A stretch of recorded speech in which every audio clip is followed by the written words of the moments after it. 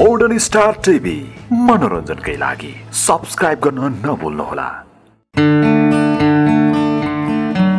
खास गरी मानिसलाई सुन्दर बनाउन अनुहारका अङ्गहरू महत्त्वपूर्ण हुन्छन्। तर समुद्र शास्त्रका अनुसार अनुहारका अङ्गहरूको सौन्दर्यजनक मात्र नभएर अरू पनि विभिन्न महत्त्व छन्। त्यस्तै महत्त्वपूर्ण अङ्ग हो चिउँडो। मानिसका स्वभाव गुण अवगुण थाहा पाउन उसको चिउँडो हेरे पुग्छ भन्ने समुद्र शास्त्रको दाबी छ।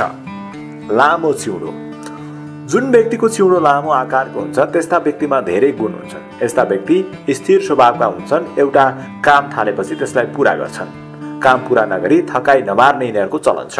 सानो चिउँडो। सानो चिउँडो भएका व्यक्तिहरू अल्छी र असन्तोषी हुन्छन्। यस्ता व्यक्तिहरू समस्याबाट भाग्छन् यिनीहरूको महत्वाकांक्षा हुँदैनन्। कामचोर र ठग स्वभावका हुन्छन्। बाहिर निस्किएको चिउँडो।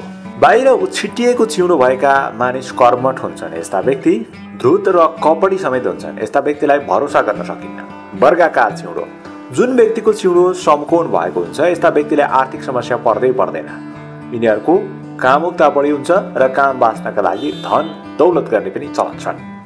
सर्लक्क परेको चिउँडो तल माथि मिलेको र सोझो परेको चिउँडो शुभ मानिन्छ। यस्तो चिउँडो भएका व्यक्ति सत्य बोल्ने र नियम पालना गर्ने खालका हुन्छन्। त्यस्तै गोलो चिउँडो यदि कसैको चिउँडो गोलो आकारको छ भने यस्ता व्यक्ति भावुक हुने र साना साना कुरामा पनि भट्किने हुन्छन्। यस्ता व्यक्तिले हरेक काम हतारमा गर्छन् र काम बिगार्छन् पनि। र अण्डाकार चिउँडो। अण्डाकार चिउँडो पनि शुभ मानिन्छ। यस्तो चिउँडो हुनेहरू चकचके र कलाप्रेमी हुने बताइन्छ। यिनीहरू व्यवहारिक र उच्च विचारका समेत हुन्छन्। यस्ता व्यक्तिले कला क्षेत्रमा कर्म गर्न रुचाउँछन्।